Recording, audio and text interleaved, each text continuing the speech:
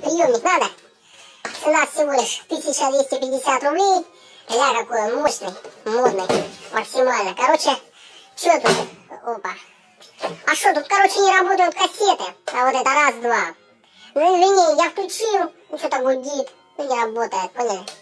Радио работает отлично, поэтому как радио я его вам особо и буду загонять, поняли?